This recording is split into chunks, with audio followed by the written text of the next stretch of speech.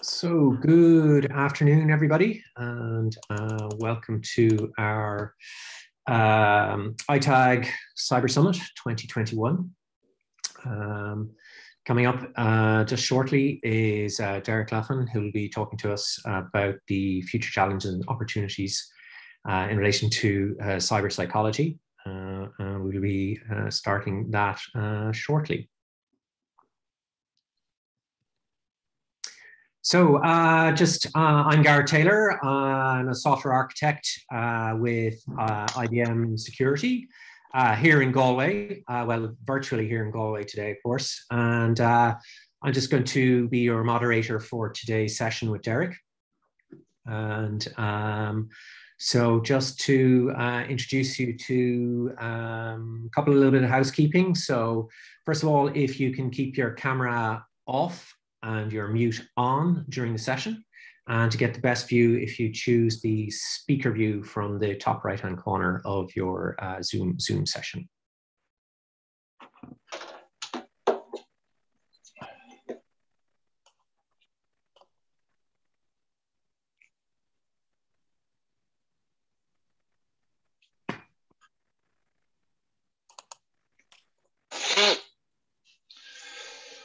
All right. I think if uh, I think it looks like we've got a good uh, good quorum already, so I think we'll get the ball rolling on session.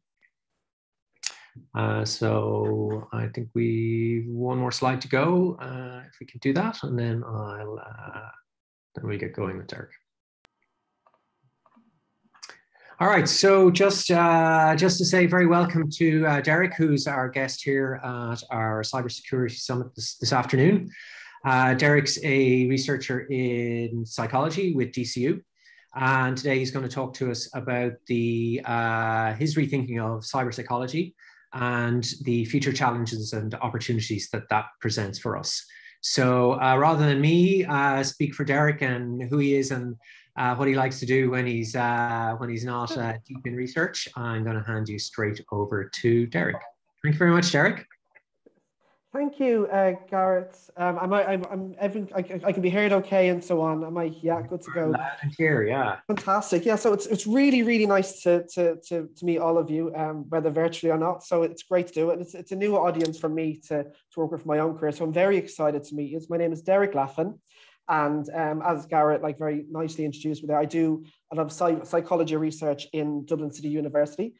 Um, more specifically, um, I'm a researcher in the National Anti-Bullying Research and Resource Centre. And um, most of my research and, and jobs here are to kind of bring cyber psychology and kind of digital technology ideas to tackling bullying and kind of promoting online safety. Um, now, and the audience tends to be a lot of young people, as you can imagine, in doing that. So there is some crossover between what I do and and in terms of the of the of, of the you know the work around tackling kind of cybersecurity issues uh, that you go. And but in generally, from a very general sense, uh, my perspective is from an academic study of cyber psychology. Um, and um, I'm hoping today, I don't come to you as an expert in cyber security, um, but I, I do, I, and I, am not here to claim you as, as cyber psychology uh, disciplines either, um, but I'm hoping to kind of give a small bit of overview about where I think a field that intersects with what you guys do um, as practitioners of cybersecurity um, and, and so on, and what we do in the academic study of psychology and, and cyber psychology, and where I think that some questions about, particularly as you know, I think to ignore the pandemic if it hasn't already raised its head at this conference. I'd imagine I'd imagine it will as it goes. Um, will kind of will kind of shape it. And I think some of the questions that I have about how it goes are the same questions that you will have about your own practices. And it would be nice to kind of discuss that and see how they go. And that was kind of the the bridge I thought I'd bring to the conference.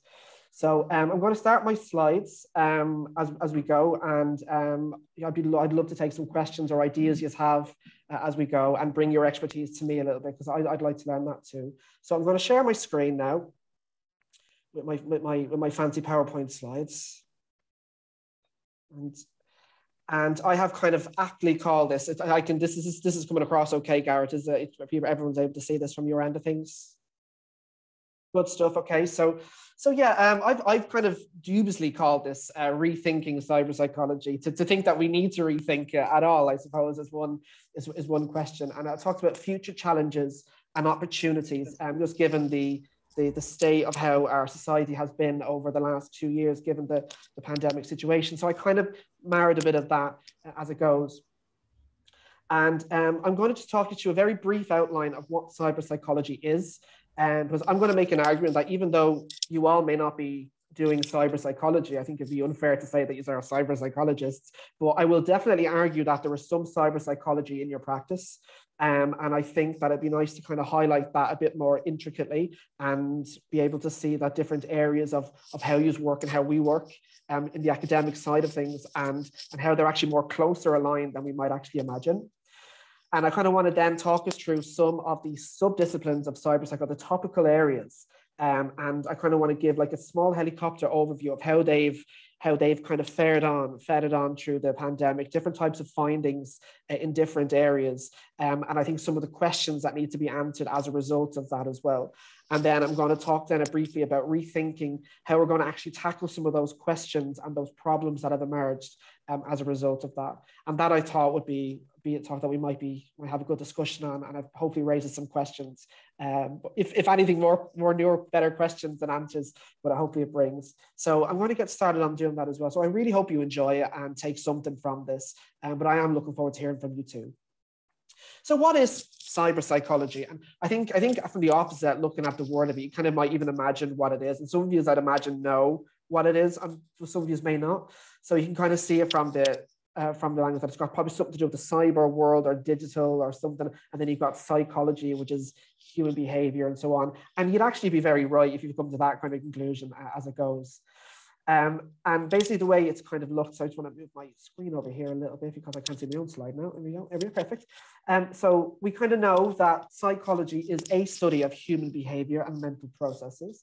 Um, it is not the only study of human behavior and mental processes. There's lots of different people study those different things in their own disciplines, but psychology is definitely one way of looking at that and is generally taken as, a, as an academic study for that. And cyber psychology is kind of an applied area of that. Um, and it's when it applies information technology uh, to human behavior and mental processes. Um, and like for example, one of the just off the cuff before I get into any more of it, like for one of the core questions that we might ask is, do we talk to each other differently through different digital media? So as I'm talking to you now, um, if I presented this face to face in the classroom, would I be different? Would I come across as different? Some might say yes, some might say no. The cyber psychologists are interested in what makes that difference unique as a, as a, as a philosophical question and so on. So to break that down a bit more, cyber psychology is a very relatively new but broad discipline. Um, and, it, it, and as you would imagine, it's got something to do with interacting with others using digital technology. For example, like how do we talk to some people differently online than offline? Um, and you might imagine that we do. Do we, you know, how do we tackle like, you know, how we how we talk to others using WhatsApp to face to face, or even using different media and so on? And the research will say that we do. Um, and in my field of like tackling cyberbullying, you know, you can only imagine how we talk to people differently through the medium of technology and so on. So it's very important that that question is asked. So it's about interacting with others using digital technologies that we use every day that are given to us.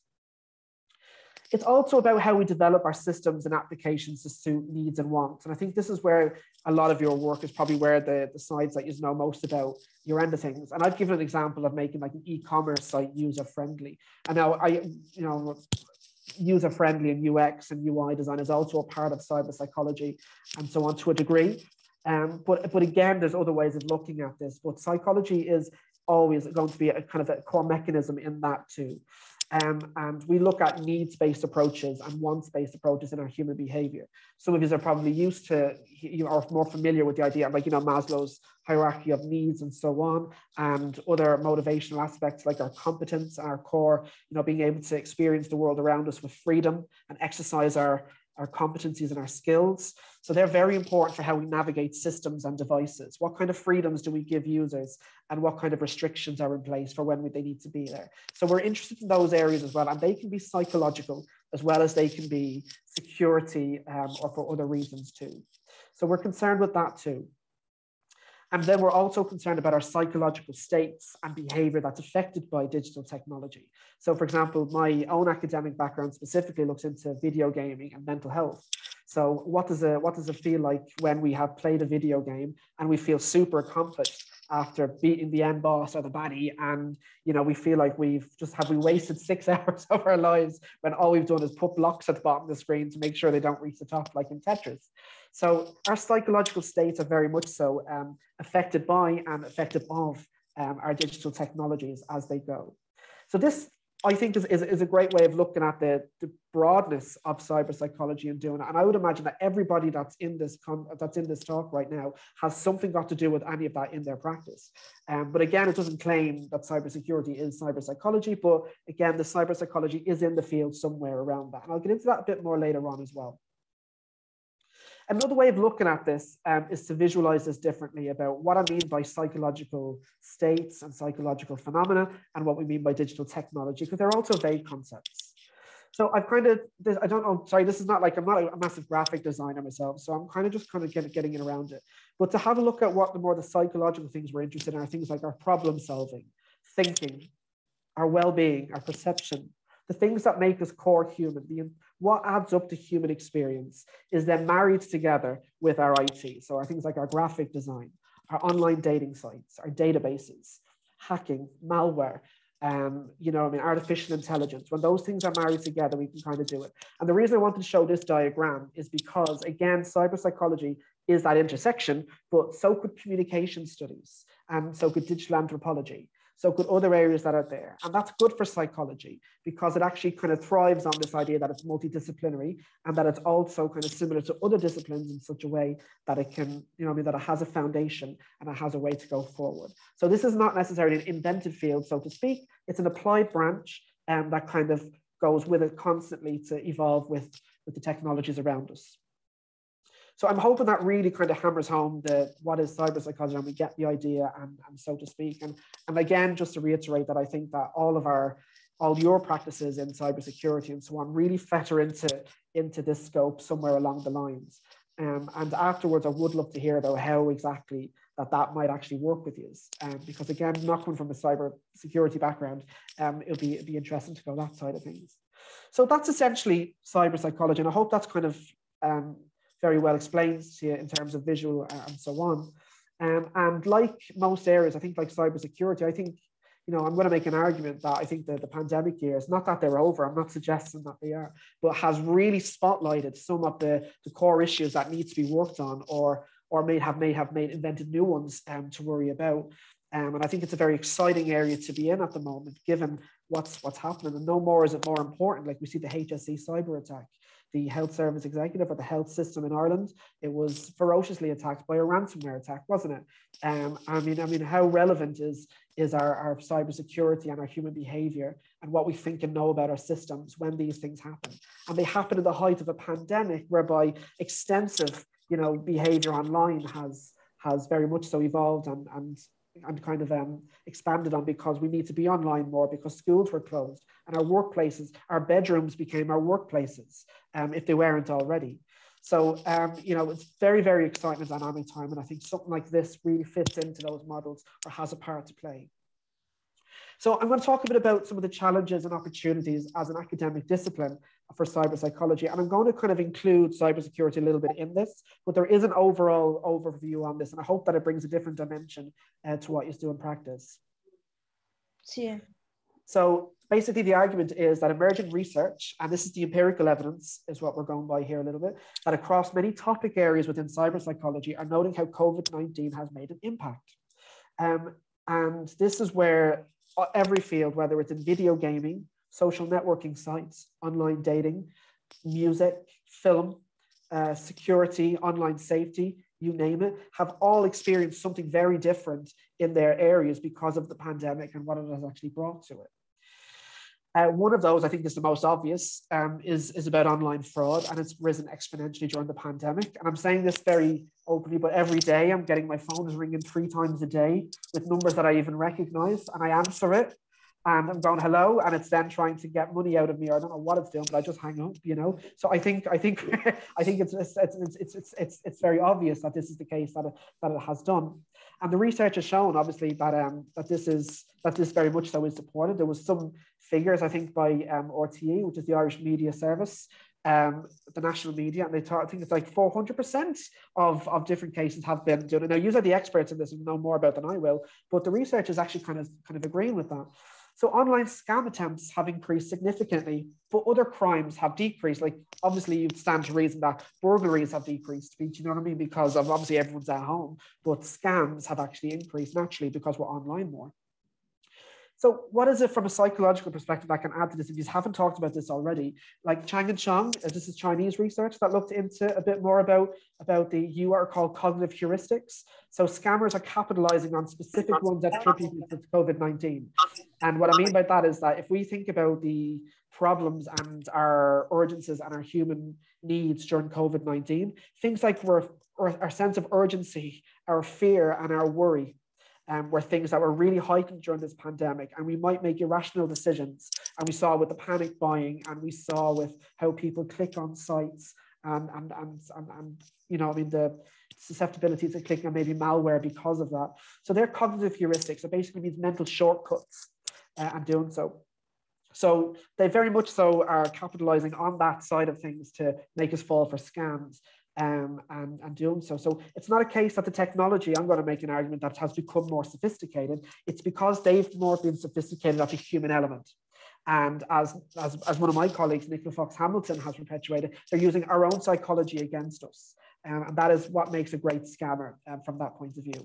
However, other research approaches have actually kind of argued that, you know, fraud and other economic crime has always been associated with pandemics. It's not necessarily attributed to the digital technology. Um, and they make a great case that during the Spanish flu, and other pandemics that happened twice since then and there, there's always been a rise in in in in how in, a, in how cr- economic crime and people capitalizing on those cognitive heuristics has been put in place. So, I mean, from that point of view, is that like we can learn from you know the digital side of things with COVID, but fundamentally, has there been um, much difference in terms of how scammers capitalize on that? And those are questions that are worth talking about, and that if if they haven't been addressed already. Um, another area, um, particularly relates to mine, is that more young people have reported um, cyberbullying, online hate, and misinformation. Um, and this is research that I've been I've been doing with my colleagues in the Anti-Bullying Centre in Milosevic et al. We found um, that young people across Ireland and Europe definitely reported more cyberbullying incidences. The questions we have is that is it because more people are online they're going to report it, or has there been generally more cyberbullies actually carrying out? And you kind of imagine the questions about frequency and volume around it. But nonetheless, there is more cyberbullying. Uh, other research has, has, has argued that what this actually means in terms of aftercare. So if more people are going to be experiencing bullying and cyberbullying, it's going to put a more strain and more demand for services and resources. We have to look after the people that are experiencing this. Um, and what's that going to mean for the services um, that are provided? So there's going to have to be some economic investment, um, if it hasn't been already, uh, for those. We saw in the budget recently in Ireland that there has been some extra um, uh, allocations for mental health services, probably not enough, um, but we're kind of becoming aware of that problem as we go. And what that's going to mean is that there's going to be more prolonged mental health disruption if they can't access those services because of it. So even though the pandemic will end, I would be optimistic that it will come to a point that we're kind of over our COVID years, there is going to be that knock-on effect of people that are going to have that um, uh, from, from that as we go. So again, these challenges I think present as opportunities um, as well to be able to tackle them other research talked about like the fact that like you know school closures mean more people are reverting to online schooling. Like it was very obvious that traditional bullying uh, those rates decreased because people weren't in school they were at home. Um, so that you know there's, there's, sometimes there's logical explanations for these but it doesn't defer the fact that there's more of it. Um, and online schooling basically means that and i'm going to talk about that point next um, about how online schooling happened during the pandemic. But it does talk to us that more and heavier internet use has become the norm. It's not becoming the norm, it has become the norm. And what does that tell us about uh, rates and uses? Um, for those of you that did online schooling with children as well, I kind of want to give you a bit of a big up to you because it has generally been seen as a massive disruptor in, in Irish households. Um, uh, online schooling is the term we're using for it because um, it's been it's been coined as differently to homeschooling um, because we've had frameworks for homeschooling for years. And this idea of emergency online schooling um, has been very different. And this is a conversation that never happened before, is when it becomes emergency use. And this is online schooling now is a new phenomenon that has cropped up in terms of the of the of the of, of, of living in the pandemic and so on. So there has been research in the Irish context on this, but also globally as well. Um, schooling online from home was seen as a major stressor in Irish households. Um, it was unwanted. It was something that was typically not enjoyed. That's the usual experience. It's obviously some people would like it or not. Um, I'm in a family of myself and my sister. We're both adults, and my parents. Um, and I still live at home. But the, the reality is that you know, if like everyone's working, how would we have had time if we had a, a young kid in the house, whether it was mine or somebody else's? you know? And so it's been very difficult to adjust to that on top of our workload. So you can imagine how stressful and how and the toll that has had on both the learner and the parent who has to administer that. And then what kind of help do they receive from the schools? Which brings us on to my research which we did in the anti-bullying center about finding that out. So we were able to be part of a joint network of um, researchers across europe um, called the JRC, which is Joint Research Commission of the European Commission. And we looked at things like children's internet use, um, children's attitudes towards using technology, their parents. Did they get more cyberbullying? Did they get more online hate? Or what were the advantages as well, like mediation opportunities, uh, digital skills? Was there improvement? Was there not? And one of the most striking uh, issues that we found was that children in Ireland purported to be the most worried children in Europe about their online schooling. And when we dug deeper into that, that type of finding, which was quite surprising to us, there was actually a whole host of reasons for it, uh, such as that the ill preparedness of schools to actually have that level of, of capability to go online in emergency situations. Uh, at the time of the pandemic, children had questions about, like, particularly in exam years, like, what's that going to mean for me? I'm studying my leaving certs. It's a it's a major examination we have in Ireland that's going to determine that you get a job afterwards or go into further or higher education. And what does that mean for us if the teacher that I had face to face can't properly work a computer or can't, you know, doesn't get to grips with Zoom as we as we need to use our Microsoft Teams or whatever they were using. So that worry kind of showed us that that confidence in our leaders' abilities to be able to do that wasn't there. Um, and what that knock-on effect was for their learning uh, was really problematic. And we found that they were excessively worried about grades um, and their engagement in school and access to teachers, particularly during exam years. Parents and children reported increased worry about online safety as well, uh, which cropped up a lot because people don't have or didn't say that they had as adequate training with new technologies that were coming out in the actual um, during the pandemic. Zoom was something, I'm talking about Zoom fatigue a bit later on in this, but Zoom is a new technology that I, I, I never heard of. Maybe maybe used it. I never heard of it until 2000. And, you know, DCU had to buy us licenses to use it because everyone was using it. Prior to that, I was using Skype. And I thought you used to have to tell me what happened there, why, why we don't maybe don't use Skype anymore with it. But you know, people were worried about these technologies that were coming out for that, and they, they didn't know about them, but we had to use them very quickly for our work and our schooling. And then getting good grades and, compute, and completing school activities. In our research as well, we found that teachers uh, across Ireland were not actually giving um, students a, con- a, consistent amount of work over on a weekly basis and on a daily basis. And that again all also eroded trust between uh, learners and that during school. Some students actually reported receiving no instruction from the school during lockdown when schooling went online. And then other students actually said, we got too many, we got too much, um, and what that meant. So we don't have something in place for that um, if that ever happens again. That's the doom and gloom um, of, of, of things so far. And I promise you there's optimistic side of it. This is where this is where I think it is. So I'm going to show you some things that research in areas that actually was kind of optimistic um, about it as well. That might be has its challenges, but also has its opportunities too. So, for example, the area that I know quite well is video gaming and mental health. And the World Health Organization actually came out and said, well, actually, we recommend play, uh, children continue to play their video games as an effective way to prevent the spread of COVID 19. And they had this hashtag play apart together uh, campaign um, online about it.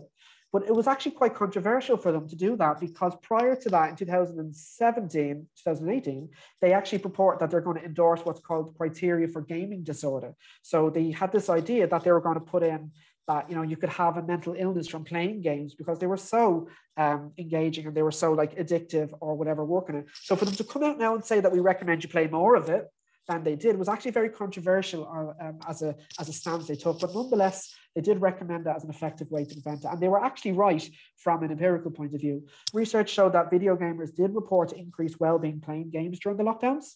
Um, and other researchers were actually able to look at the, the amount of gaming that was happening, and they were able to show that the amount of it wasn't actually indicative of addiction or problematic play. But those with prior problems, like having state anxiety um, or prior or prior other uh, issues that might actually, you know, I mean, be predictive of like conduct problems or something else, and um, they were likely more at risk. And again, reinforces the idea that video gameplay is not necessarily problematic from a video game's point of view, but it is it can be an extension of, of behavior that's problematic.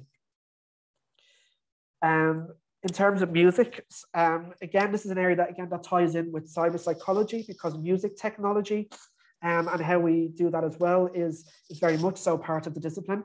Um, and I'm sure some of you might have saw on on Twitter and on other things as well that you, might have seen people singing from balconies um, or people really engaging with their with their ideas. And there were lovely, lovely um, videos of, of sheer solidarity and, and, and, and lovely moments of care really between people that never talked to each other.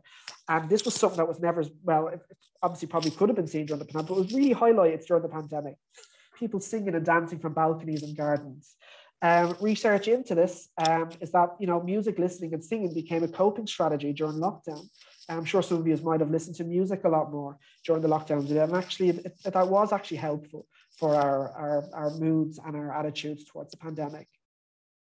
And then other research uh, again showed that people were engaged with different things with music. For example, the idea of attending virtual concerts was very rarely heard of um, prior to prior to the pandemic, and then it became a norm um, around us. So we saw virtual concerts, or we saw things like, you know, if you watched the Late Late Show or chat shows that they had no audience, and people were still engaged with the with the content as they went very very quickly, and that adaptability was there. So people were engaged with that as as they would go. Um, and obviously social networking. And I say this, I'm putting this as an advantage uh, rather than disadvantage because we we could talk about that in both ways. But um, it was absolutely crucial um, to be able to disseminate health information during the pandemic. So, for example, um, uh, research had suggested social media was a positive coping strategy, particularly to lonely adolescents in lockdown. Um, and of course, where would we be without social network to some degree ourselves? Um, social media was crucial to disseminate, I think I've said that, uh, health information during the pandemic. And then obviously there was greater collaboration with and communication between uh, bodies like, for example, NPHET and the government and our and, and users online. They really relied on it uh, as a way to get that across. On the flip side to that, there has been an increase of misinformation, disinformation, and and you know resulting from that. But it's important that we look at the actual pros from that. So I just wanted to put that there um, as an idea for that too. Um, and that, that, that kind of just was some of the initial thoughts that I had about the overview of cyber psychology and these things that we never thought about before um, and what that might mean for the future as we go on with questions that we have. So um, two fundamental questions that I believe that we need to answer about all of these changes or things that we found out that we never knew before, um, particularly with our behavior online and our digital technology and so forth, is how do we know if COVID or has COVID 19 actually changed our behavior online? Um, are we actually doing things much differently than we did prior to the to the pandemic? And it's a big question because it's very difficult to to measure change. Um, change might be a small word, but it's a it's a big word in the social sciences. Um, change can mean influence. It can mean um, it can mean literal change. It can also mean decreases, increases, um, and so on. Um, so it's very hard to do that. And to be able to attribute the pandemic uh, around our behaviors and that is actually quite a hard question to ask because it's hard to quantify these. Or has COVID 19 spotlighted the deficits and contributions that technology brings to the human experience? And that's a great question, I think, for you guys, for cybersecurity experts, about talking about things like the, the amount of online scams that have happened. Is it the case that online scams are, have been you know, increased because it's the pandemic? Or as research had showed earlier on, has it always been increased because pandemics has always been an opportunity for scammers and, and criminals to be able to take advantage of our so called mental heuristics? and so on. And they're very crucial questions because we are now going to have to live with the ways that we change our behavior during the pandemic to now. Like, for example, the, the state are now going to tell us that working from home is probably going to be more of an option for a lot of people. There's going to be some legal framework, I think, coming into play about that. Um, and that's going to change how we've worked on a daily basis. Is that because of COVID? I think it is. But other questions arise. Can we draw conclusions about the impacts of the, of the pandemic if we don't have pre-pandemic data to compare to? Sorry, I'm getting a bit cross-wired here now. One of the issues with pandemic research is that because researchers were in such a rush to understand the effects of the pandemic and get the papers published as well, it's very hard to draw conclusions if you don't have pre-data or pre-evidence to kind of match it to, you know? So that kind of that kind of conversation uh, needs to be had from a methodological point of view as well as from a from a practical point of view of that.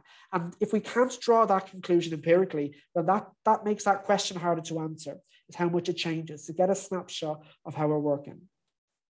If it won't be business as usual uh, post pre-pandemic, that's what our, our politicians have said. It won't be business as usual. There'll be changes made and so on. If we're not going to go back to how things were, how do we know at a societal level how the pandemic has changed things because it seems like now the pandemic has changed and kept us going rather than going back to the way we were, so to speak.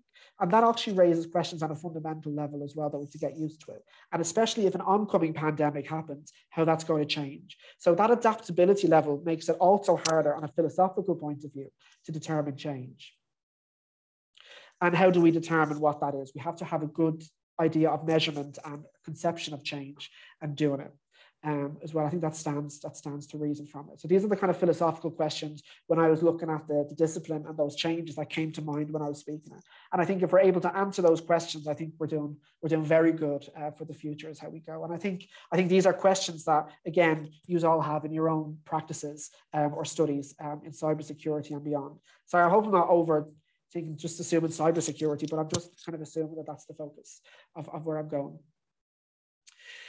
Um, yeah, so this is kind of where it's, it's not just in terms of what happens that that makes our behavior fascinating online and so forth as well. There's, there's been new things that happen that never that never that we knew about video games and social networking, but what about the newer kind of phenomena and new things that happened that we never talked about before and and, and that and that and that kind of crept up to, to be worthy of study. Uh, new phenomena, illnesses, and psychological concerns are to think about in the future as well that we need to go. And one of them I kind of want to heat a little bit about is this idea of Zoom fatigue. Um, I'm, I'm assuming that you've all heard of Zoom fatigue to some degree, uh, but it was something that we never talked about or never heard of until what 2020.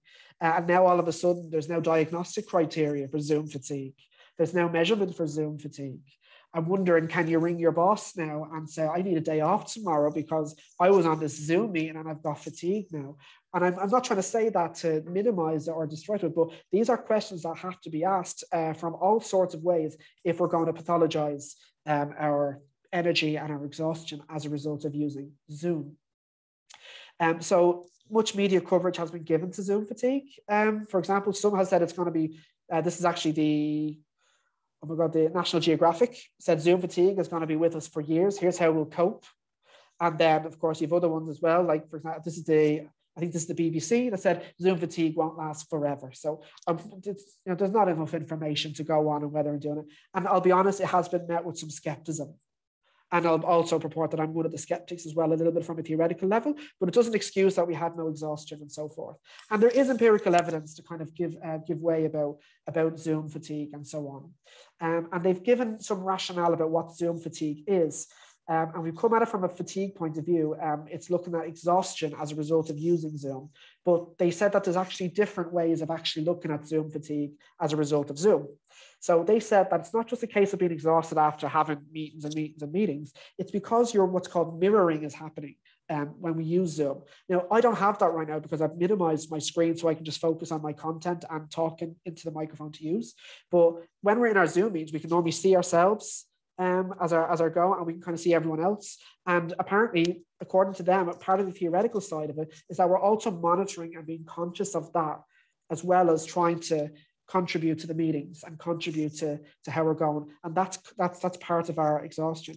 On top of that as well, the setup uh, and the, the maintenance of Zoom uh, has also given rise to some of the, the symptoms idea and so on. In this research as well by uh, Fauville et al., this is um, the Zoom exhaustion and fatigue scale, which is um, available in computers and human behavior reports. And they, they broken Zoom fatigue down to these general areas. You've got general fatigue, visual fatigue, social fatigue, motivational and emotional fatigue. For example, how tired you feel after video conferencing, whereas how much do you tend to avoid social situations after conferencing, and so on. And the argument that some of the skeptics have made is that, like, we didn't talk about Skype fatigue, um, or we didn't look at it from the point of view that people that who suffer with fatigue generally, for example, with ME or CFS or chronic fatigue syndrome, that might know live with fatigue in such a way that it disrupts their life and so on. But now we're going to we're going to have a comparative to that called Zoom fatigue. So it's been met with its its skeptics, and I think I think there's going to be more questions about that as it goes, and so on. But nonetheless, um, meetings are exhausting, and so can Zoom be as as problematic as it is. But I thought it was worth mentioning that it was something new um, that came up during the pandemic, and it's it's pathologized, uh, so to speak. Um, another one um, that came out as well is the idea of call fear of COVID 19. And I think very rightly so. I think you know the idea of fear of COVID is like I mean it's a it's it's a virus, isn't it? It's something that's real and it's something that can that can harm us and kill us and so on. So I mean it's, it's very it's very normal to have an idea that um that we have uh, a fear of COVID. And there's been cases like, for example, the, the media article on the right, this man was found wandering around Chicago airport and wouldn't leave because apparently he was had so much fear of COVID uh, and with the media around it. And, and it is a very worrying time. It's a very anxiety ridden time for people. So, not to diminish um, fear of COVID, but the, the, again, some skepticism about this rose during the pandemic from an academic point of view uh, about some of its scales and measurements. So, this is the main scale for measuring fear of COVID. Um, and like, for example, I'd ask general people, like things like, I'm most afraid of coronavirus. It makes me uncomfortable to think about it. My hands become clammy, as they probably would do during anxiety and, and stressful situations, afraid of losing my life, and so on. So the argument is is that it came out its, its date was actually very problematic so the publication of the scale for fear of covid which has now been widely cited was in 27th of march in 2020 although we hadn't really started talking about much COVID 19 since January. So within three months, this paper has been conceptualized the idea from a pathological point of view and measured it. Uh, so again, this has been met with some academic scrutiny and skepticism online. But again, just to kind of, it's something for the for people to, to talk about in terms of the future and measurement. And then it sparked a conversation about how we measure psychological constructs. So there's actually been now an abundance of academic papers kind of making up psychological concepts like offline friend addiction. And they've been putting it into journals saying we can just make up a psychology variable now and we can put a scale and we can say that people suffer with it because of um, articles like this that have now been, been problematized um, because of it. However, there is genuine fear of COVID 19. Um, it's, it's very rational to have that fear. It's a worrying time and a fearful thing to get. Um, and there is fear of getting diseases and, and fear of needles that are attributed. So, even in concept, you could argue very loosely that it is, but I'm not here to to, to, to diminish it. I'm here just to acknowledge it and, and see the, some of the shortcomings from an academic sphere. So it's just interesting to bring that to your attention. Uh, Derek, just to yeah. remind you there, just coming up to the 22 the hour. So I know we Fantastic. Said. And I'm, just, I'm actually just about finished. So brilliant. Oh, thanks, thanks, Gareth, thanks a million. So I'm not too far off. So how will we answer these questions? Um, and I think this is where, again, this is where our interests line up. Yeah, so you guys are doing this, and in academia, we're doing this as well in cyber psychology um, is that how to answer these kind of questions that the pandemic has brought us for cyber psychology, we're going to be relying on our evidence-based process and solutions. What is the evidence saying? Cyber psychology is an evidence-based discipline. Uh, conclusions are drawn about human behavior by analyzing data and previous work. Um, and as we know, data is probably the new gold. Um, so, and the more valuable it is, the harder it is to acquire. And that gives us questions about big data, which is one of the which is kind of the big things lately. But big data is not necessarily better, better data. Um, and what you could do with where you where you when you make up in better data, you lose. Sorry, in big data, you lose for depth. Um, so it's important that we consider the value and contribution of our data. And then there's a recent push for what's called open data, uh, of methods and, and, and sharing of, of how we acquire that as well, so that we have that transparency um, of how our methods and our data is going. And that sparked conversations about privacy and ethics again, to bring data uh, away from not just data protection. There's always going to be data protection, but it's also an ethical argument, and it brings it back to that. But that's again becoming more common in academia now is open data, and data-driven solutions are evidence-based solutions. Um, collaboration, I saw that there was going to be a talk on this later on, I think after me, about diversity um, in the area. And this is exactly um, where, where this is going to. Collaborative, diverse, and multidisciplinary approaches are what's also key and essential in cyber psychology. And I don't just mean that in terms of um, I'll talk about that in a minute, but that means like things like graphic designers meet with media scholars and they meet with teachers and they meet with software developers. It's a real mixed bag of who's involved in this science. And collaboration, it wouldn't be a field without collaboration and diversity. And diversity is seen as its core strength. People, gender, ethnicity, disciplines, communication studies, psychology, ideas, which theory is right, which theory is wrong, and approaches of how we should solve those problems. And again, it's theory and policy driven. So cyber psychology is an applied psychology and it benefits from drawing from psychological areas like Freud, like, like your, you know, your social identity theory, your all these things that are bringing place. And then it informs policies that actually guide our legal and our behavioral and financial frameworks in place as they go. And that's these are things that are in practice in your own disciplines, I would imagine. Um, and I know just for time that I just kind of, if you, if I have a takeaway thing for you to look at, um, this is a report that we did in, in the National Anti-Bullying Centre called KiDiCoTi, Kids' Digital Lives in COVID-19 Times. And these are some of the changes that children and their parents have reported about their online world or the digital ecosystem the digital practices, if you will, of, of how they've gone uh, during the pandemic. So I'd love you to take a look at that. And it's free to download uh, from our site. So I don't, I haven't got the link. I can put the link in later or something, or by email, but it's it's just there. You can get it easily accessible if you just type in the name and go to the anti-bullying website, the anti-bullying centre's website in Dublin City University. And we have courses um, in cyber psychology. If this is of interest to you going forward, a bit of a plug for these as well. I'm going to have to, that there is a certificate um, that you can do on a part-time basis um, if you're looking at getting just a very general, um, quick and quick overview of doing that in, in the Laoghaire Institute of Art, Design and Technology. And they've also got a master's program if you wish to have more of a specialism from, a, from an academic um, perspective um, as it goes. Um, and that's it for me in terms of the, my talk. And um, I want to thank you. And I hope I hope this has been somewhat interesting to you or beneficial in some way. And um, I will try to answer questions that you have, about, just not from a cybersecurity uh, expert point of view, but I would definitely love to hear from you about, about some of this and relating to your own practice. Um, and that could be something good as well. You can reach me on Twitter. I am a Twitter fanatic. I loved, I like, I like, I think Twitter is great for, for this as well. So do follow me and I'll follow you. Um, and I'm on LinkedIn, although I've, i rarely use it and I probably should more than anything else. And um, that's it from me. So um, thank you so much. Oh, thank you, thank you, uh, Derek. Fantastic, and I think uh, definitely uh, something to get us out of the weeds of the, the nuts and bolts of computers there for uh, 45 minutes and get us thinking thinking uh, on a different angle. And yeah. I think you definitely uh, sparked quite a few questions and comments there in the chat. So as well as plenty of folks who are saying they're really really interesting talks. So thank you. Yeah. Again, thank you very much. So there are a couple of, we've got about 10 minutes or so before we'll be uh, vacated from this session here. So a few, a uh, couple of questions. So um, one I think which, which kind of leads into the, the cyber, the cyber world really was um, a question, are, did, is there in, anything coming out to show that maybe people are becoming better aware of things like their privacy, uh, their exposure to social engineering and what that is. And then also, is there something emerging, you know, in the culture, uh, and I guess in the, you know, the, the cyber psychology really of of people uh, as they're addressing that. So I think that's kind of a, a nice, good question from Cormac there, which brings both of those fields together. So. Yeah, I, I, think if I'm if I'm going back to some of the work that I've done on this, I, I, I linked us to the KiDiCoTi Kids Digital Lives report, and mm. in that they talk about some of the core competencies that have improved during the during the pandemic. So confidence for these have very much so been um, have have have been expand, have been expanded on greatly by them, and they're reporting like to talk about what a digital skill is. That's that's such a vague term now, isn't it? So the application of those skills have very much so seen as increased as they go. But we're now looking at a generation um, of of internet users that are so tech savvy. It's no longer a case of being like we're going to be in technology in the future. Like this is it, we're here now, and and this is this is where that's that's kind of coming along. Uh, and I think we're way past discussions on whether technology is good or bad. I think we're way past that point.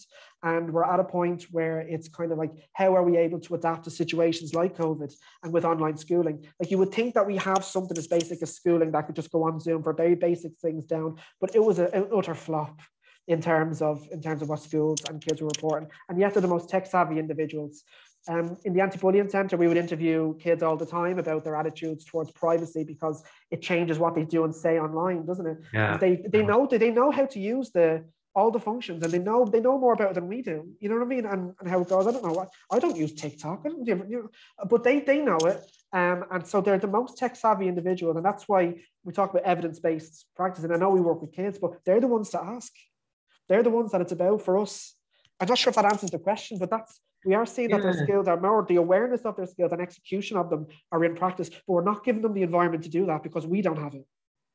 Okay, so very interesting. So, so the you know the adults um, are the ones who haven't developed that awareness, or or maybe aren't changing their their culture, and as a consequence, you know kids are, are kind of being retarded in their ability to to respond kind of yeah you kind of uh, have to you kind of yeah. have to see it from it like from it from like like I mean I, I'm, I'm in St. St. Pat's College it's, it's literally like a teaching fortress like you know what I mean so like and a lot of teachers here with that I mean they, they're not they don't have that immediate training to be able to just take all you have to imagine that the workload for a teacher has to now get all the lesson plans get everything up onto onto that that can be carried across on Zoom be able to competently give the lesson on Zoom and they're not able for that because it happened like that without training. Like the training wasn't there because they didn't know we had to give training for a pandemic, you know? And this this this had a knock-on effect for kids being able to do that. And so the kids were ready for it, but we weren't because we didn't have that process. And that's a good opportunity for, for us to build better programs for that.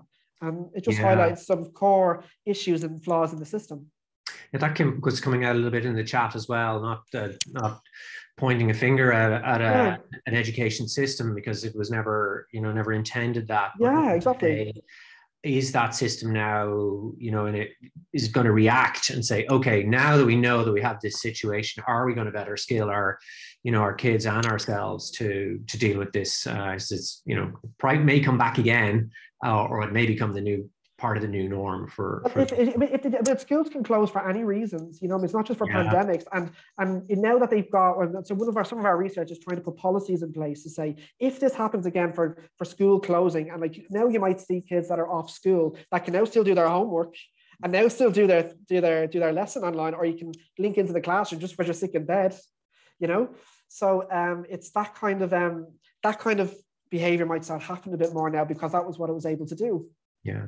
And um, do you, you know, in, in what you guys see, do you, is there a different level of trust uh, or do people have a, you know, do different posture when they're interacting online than they do person to person? Are they more trusting? Were they more trusting and they become less so? Have, have we become more, have we changed how we're behaving online even just by seeing scams and things like that going on? Um, yeah, that's that's a that's a that's a good question on that. But I mean, we have to. I mean, particularly with. I mean, I know I know my focus is, is with young people, and I'm, I'm just only saying what, what I know on that one is that they they've no choice but to trust their teachers. They've no choice but to trust their parents because they have to. And I don't mean that as in some authoritarian kind of sense or way, but like if you know we have to rely on our on our on our so-called leaders uh, for doing that. Um, so you know, I, I don't know how to answer that question otherwise because um in, in terms of trust, that's it's a good question. I'm sorry, I'm stumped with it because I don't yeah, know yeah, yeah, entirely, but I, yeah, yeah, it's a yeah, good one. Yeah, I, I, was, yeah, yeah. Coming at it from slightly different angles. That yeah, yeah. You're if you're interacting with people, eh, you know, when the person is in front of you, or you know, you're out and about in the real world. Um, you'd have certain, you know, you'd establish trust through certain trust through certain maybe norms or social, you know, psychological hmm. interactions mm. and so on.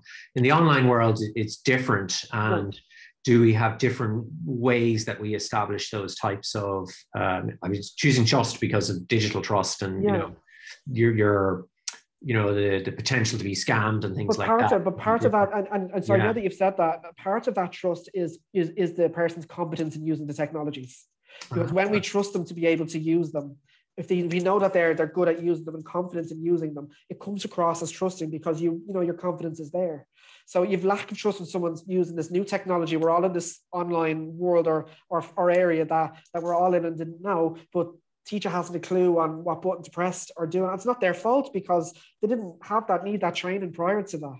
So it's not it's not coming from that it's disabled or it's not from a or is not able to work with that. It's because and I hate using the term because I was so used to the unprecedentedness of the of the thing, you know what I mean, came, came into play in it. So it, it comes across when we don't know. And in our research, we found that when they didn't they didn't know how to work Zoom or didn't give them lessons or capitalize on the functions of our of our technologies. The kids did not. They, they worried more about their about their their grades and did so, and, and it really came across as, as effective on their anxiety.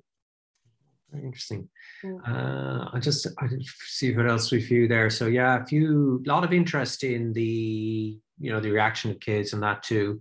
Uh, some people saying that um, people are not really developing a stronger awareness of uh, you know cyber threats and are, are probably right. just as just I'm going to have to use the word naive, but just as yeah. you know likely to um, fall foul of a scam than, than they ever were. Um, I'm not sure if that's something. It is actually. I actually can a little bit because yeah. scams are, are are so intricate. Like, I mean, like I said, they're using our own psychology against us as well. And this has not been quoted by me. I'm taking a quote from, from a colleague of mine, Nicola Fox Hamilton. But you have to remember that it's, it's, it's, it's, it's they, you know, I mean, it's, if like some scams you don't fall for, and that's because they're not aimed at you. Like there's academic scams here, like fake conferences, there's fake, you know, fake journals and fake fees you know, and they're very easy to buy into because someone like me, who I'd consider myself as an early career researcher, needs to be kind of seen doing things like this, but also doing things like, you know, publishing and getting my work, uh, you know, I mean, reflected on and analyzed and whatever. And I could easily fall for a predatory journal or a predatory scam because the email looks great because it's aimed at me. But I probably won't fall for like, you know what I mean, a cryptocurrency one because I, I don't I don't know what that is.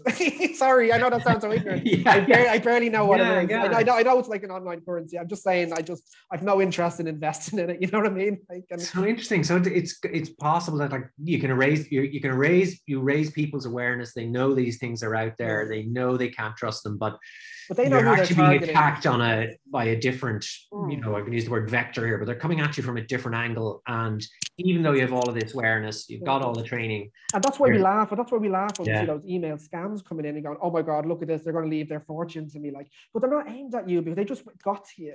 They're aimed, and they have they actually have like a one percent response rate.